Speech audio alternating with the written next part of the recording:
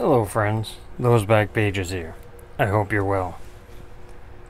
Got a little mail in, significant mail for my collection. So I figured I'd show it off and share share my knowledge with you guys. So as you know, there's a there are a bazillion different ways to collect bazillion different players, teams, etc., things, items, however you want to phrase it to collect. So you know, there is room for everyone in the hobby. Different ways you can collect and still enjoy, even though Topps continues to pump out extremely overpriced wax five days a week, it seems like, anyway. um, let's see. I will start with only two new cards, because, like I said, it's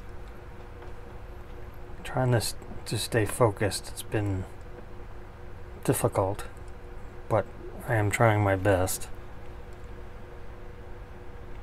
And I've, I guess, again, I, I try to pin it down and say, hey, I'm going to collect this player, that player, and this player, and that player.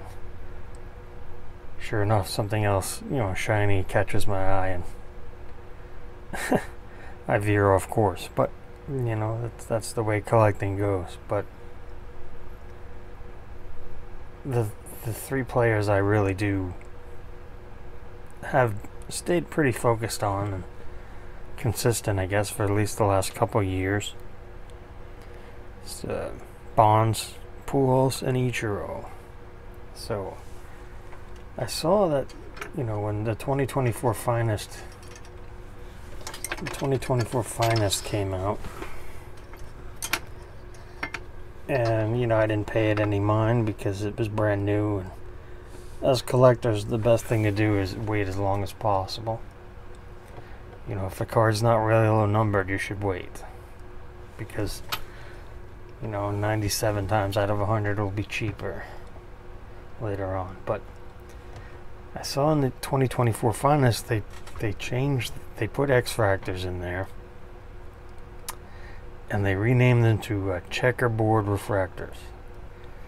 I don't know if that's because Panini does the checkerboards with Prism. I don't know, but it's confusing. So they do, you know, the basic X Fractor, a couple different like uh, sky blue, blue, blah blah blah. But I noticed that they did not do. Unfortunately, they did not do gold. I've shown this one off before from 2003 finest gold X Fractor. You can see right there on the flip. These are numbered on the back, machine stamped to 199. And these are the box toppers from 20, 20, 2003 Topps Finest, so 21 years ago. You got one of these gold X Fractors with every box you opened. Um, Again, so they're numbered to 199. Here's the Pujols, which I've shown off. Such nice cards. And if you were paying attention to a few seconds ago, this is the one I got in. I was able to land the Ichiro. Again, 199 on the back, 28 of 199 super shiny, just great looking cards. And you know, they don't make them like that anymore. How many times do we see that here on the channel? Plenty.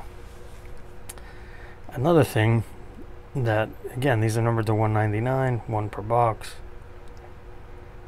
But these cards are 21 years old. So, something that's numbered to 199 from 21 years ago is not the same as something that's numbered to 199 here in the new age and I, I think that's lost on a lot of people especially anyone who's joined in you know in the new age. I would say these are probably more like something 199 from them it's more like to 25 now if not more difficult. Because you know as player collectors it's especially retired player collectors, it's uh, you know how difficult it can be to find some stuff. Um, so yeah, very happy to add those to the collection to finish the hat trick, the trifecta, however you want to classify that as. Very, very happy because it's was I got very fortunate on the bonds and the Pujols, and then I was able to track down an Ichiro. There were none at the show. But you know, the, the more difficult stuff you co- the more the stuff you collect is that is difficult to find, you know that it's it's difficult to find. So here are stuff that I've shown. I'm going to go over quickly. These were all graded at the show by myself this year. And I think it's important that that uh, you know to, to to stay active in the in the hobby to be you know continue to add to your collection can, can be difficult depending on the the player you collect and their popularity can some players you know can be quite expensive. Like I'm, you know, I I consider myself an Ohtani for modern for current players. I consider myself an Ohtani collector, Judge, and Witt. If I had to pick only three, it would be those guys. Uh, some of those guards are not cheap, but one player that's retired now recently that I am having great joy trying to track down Because let's be honest, a lot of the joy comes from trying to find these cards.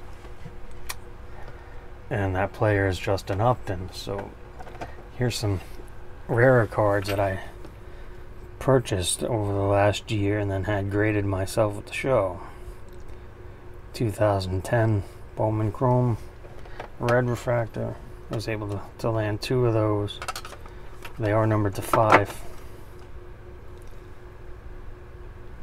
So two or five, and I think this is five of five, yeah. So if anyone has the other three, hit me up. Raw otherwise, that's fine. I'll just, uh, if I buy them raw, I mean, I prefer to buy them already graded, but if I buy them raw, I can submit them myself. Here's a 2012 red refractor. Again, numbered to five, one of five there on the back.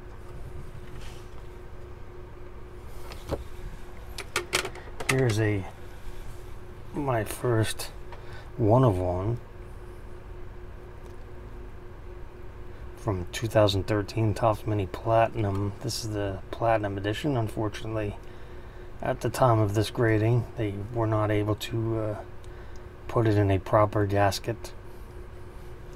But, you know, it is a one of one, so it's the only one there is. And it did gem mint, so that was nice. It was, uh, you know, again, so did this one, but you know, it's more about owning the card and having it nice and slabbed up. Here's the uh, 2020 Topps Chrome Sapphire. S CGC 10 pristine. It's in a baggie though, so I don't know. Maybe it's it's five of five, so maybe it's a little oversized card, but it is it looks better without the baggie, but what are you going to do? I mean, it's super shiny. It's uh, color match. Angels red. And, and, what I do like a lot about collecting Upton is that, uh, you know, he's a very good baseball player. Very good Major League Baseball player. Here's his 2018 Topps Independence Day Gem Mint 10 that I purchased for $2 on COMC and then rated it myself.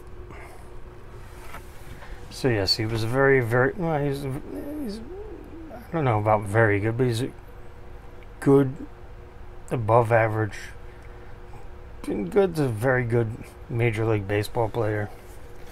Had a long career, played a long time, played a lot of teams was the number one pick of the uh, 2006 draft. And he wound up playing with Miguel Cabrera, Albert Pujols, Mike Trout, and Shohei Ohtani. So I I don't think a lot of players, you know, of this century were able to play with the four of them together. Well, the four of them, you know, as teammates. Here's his 2018 Topps Chrome Sapphire Red. These are numbered to 10 for some reason. But uh, I'll take it. It's a color match. This graded an 8.5. I, I do have another one raw I picked up this fall or this summer post show that I plan on having slabbed at the show next year. So, as I had shown, I think it was in the last video, I had shown I had picked up my second one of one. This Boris Becker Padparadscha one of one from 23 Topps Chrome Sapphire Tennis. So I was browsing eBay and I, I like to, you know, I like to search like everyone else and was searching for uh, Matt Wieters, who I've shown off a few of his sapphires. I, I like that card. You know, I have an 18 red sapphire Wieters, a 17 gold sapphire, which is numbered to five Wieters. So, but lo and behold, this was the I saw this listed, and I couldn't believe it. It is the 2018 Topps Chrome Sapphire Superfractor. Now, it's even in a 10. Look at that. But it's the only one there is, so there's no nine discount because it's the only. Now this has the the groovy swirls because he was not deemed appropriate to put in Topps Chrome that year in 2018. Either was Wieters. So if you didn't have a Topps Chrome Superfractor, they gave you a Superfractor in Sapphire. Whereas if you had a Topps Chrome Superfractor in regular Topps Chrome, they gave you the PAP treatment. So, very happy to have this. I, I, I, I did not count on seeing it, obviously, and uh, it's such a, it's just such a beautiful card. I mean, it's the swirls, the groovy swirls. You get lost in looking in the groovy swirls. Gives it a 3D effect almost in person. And you know, I love the 18 design, and you know, it's the only one there is. So essentially, this is you know, you know, that's there's this, the, the red refractor number 10, and then the base card, which I have a couple, you know, a couple raw ones. And that's that's pretty much the rainbow for the 18 Sapphire. Because they did not do gold. They did gold in 16 and 17. They did not do gold in 18 for some reason. And then they brought it back later on. I mean, 19 Sapphire, they lo and behold, you know, they, they left the sapphire part off. If you look at the if you look at the base cards from the 19 sapphire, Topps Chrome Sapphire set, they are atomic, essentially atomic cards. They're sapphire without the blue. So somebody goofed, but you know we're talking about Topps here, so that's not all that surprising.